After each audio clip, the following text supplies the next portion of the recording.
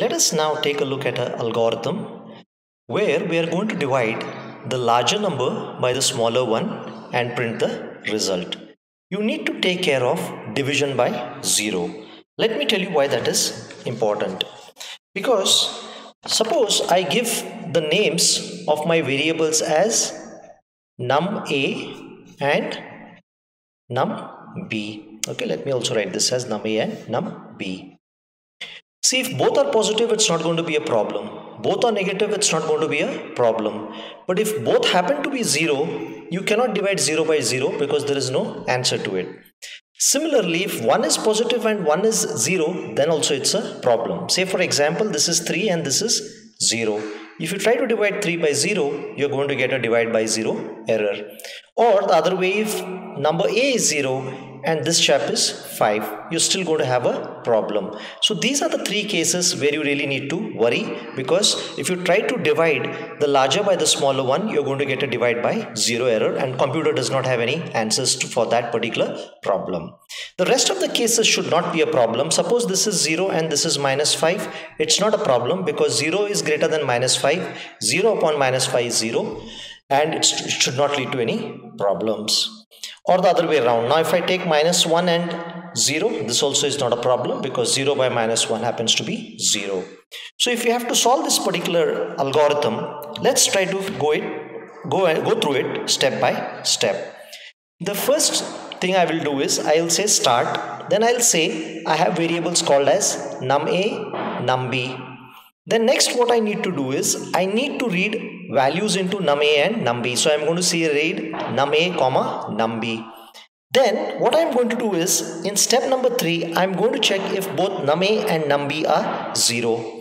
If both num a and num b happen to be 0 then I'm going to say divide by 0 by 0 error and I'm going to halt. So if num a is equal to 0 and means num b equal to 0 that means both the conditions are then the problem is going to be divide 0 by 0 error. I'm going to print and i'm going to stop. So this flower brace is associated with this if then. Okay this is the first if now in the next step what i am doing is i am checking if num a is greater than 0 and num b is equal to 0 the second case. So what i am doing is else if num a is greater than 0 and num b is equal to 0 then i am saying write divide by 0 error so I have taken care of the second possible problem case. Now let me worry about the case where num b is greater than 0 and num a is 0. So what I am going to do for that is if num b is greater than 0 and num a is equal to 0 then I am going to say divide by 0 error then the other things are not a problem because either num a will be greater than num b or num b will be greater than num a or at the most num a will be equal to num b. So next condition is if num a is greater than num b then what I am going to do? I am going to say result is num a divided by num b. Okay? And the last step is if this is not the case, then automatically num b has to be greater than num a or it has to be equal to num a, which is not a problem. In that case, you're going to have an answer 1. So the last else is here. Now let's try to see if this particular logic works in every possible case. I have already explained to you that the first three cases are taken care here, the here, here and here. Let's take a number like 0 and minus 5. So I am reading number A is 0, number B is minus 5. So is number A 0? This is true. But is number B 0? It is false. So it will not go into this part. It will come here. Is number A greater than 0? No. So it will not even go to the AND part. Is number B greater than 0? No. This also is false. Now is number A greater than number B? Is 0 greater than minus 5? Definitely 0 is greater than minus 5. The result is going to be 0 upon minus 5 which is going to be 0. And finally I am going to come and stop here.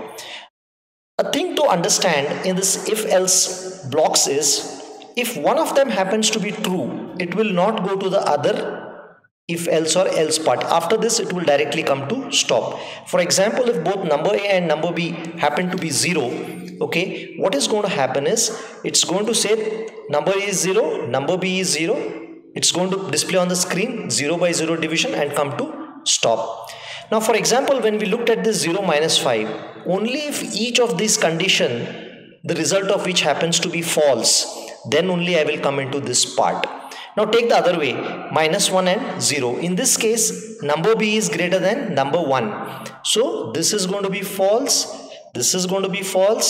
This is going to be false. This is going to be false. And finally since none of them are true it will come here and divide num b by num a and print the result.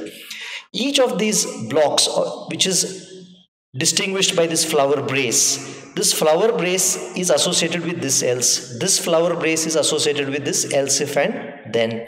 This flower brace is associated with else if and then. So each of this flower brace is used to identify the condition in which the logic is associated with.